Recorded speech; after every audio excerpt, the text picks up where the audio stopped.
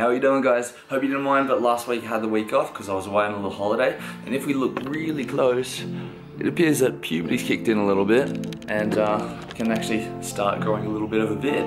So that's a plus. But today, what's also a plus is uh, we're making a zucchini pizza uh, zucchini pizza based crust. Uh, so really low in fat, low in sugar, uh, not a lot of processed crap and that sort of thing in it. Um, be mindful that you can put your own toppings on the top, but we're focusing on the crust today. And uh, yeah, let's go down and show you how to do it.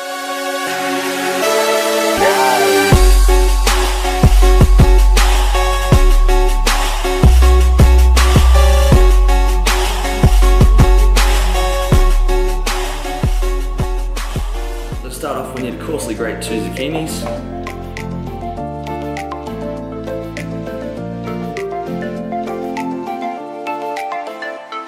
Then over a bowl, we're gonna put a tea towel. We're gonna put our zucchini into that tea towel.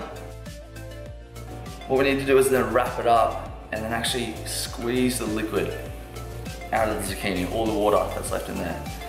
It May take a minute or so, but you need to try and make it as dry as possible.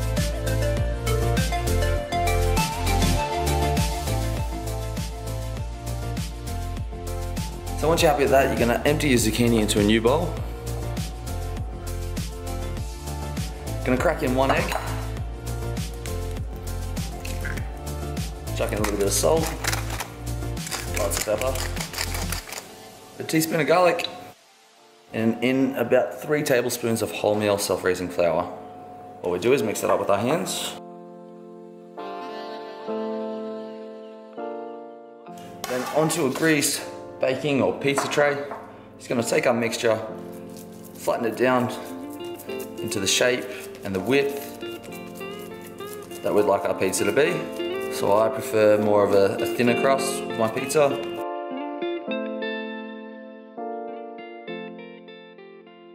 And then once you're happy with the size and width, that can go into an oven at 200 degrees Celsius for about 8 to 10 minutes, just so the edges start to brown up a little bit and should be able to lift off the tray nice and easy. So that one's just come out of the oven and it's been in there for about 10 minutes. As you can see, nice and golden around the outside, so quite firm to the touch. And now we to, need to add our toppings. So we're gonna start off with a bit of a tomato uh, base. One thing with my pizzas, guys, is I'm not the biggest fan of uh, like a lot of sauce, a lot of cheese, and that sort of thing. Um, so I try to keep it a bit minimal. That way I still get the flavors of the toppings that I actually want to taste and put on them. To that, I'm gonna put some tomatoes, some fresh tomatoes, some yellow and red capsicum, chopped mushrooms, gonna put some slices of chicken, throw in some pancetta, or prosciutto. Again, if you can have pizza, splurge a little bit. Salt does have its place in the body, as well as fat. And then some cherry bocconcini. Some chopped basil. And then some good fresh parmesan cheese. And then back in the oven. And this time it's gonna take about 15 minutes. I would drop the heat a little bit, so maybe down to 180. All right, and straight out of the oven, a few extra touches of green, just in basil.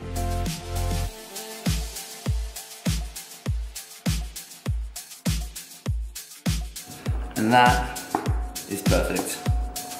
Drips and all.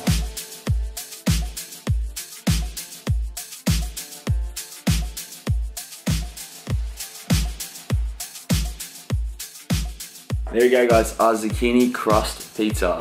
So if you're one of the people who aren't a big fan of vegetables, try and get them in in the form of pizza. Um, can't go wrong with that. I've seen people do it with cauliflower. Um, you know, I've got a bit of a hard one for sweet potato, so I want to try that soon.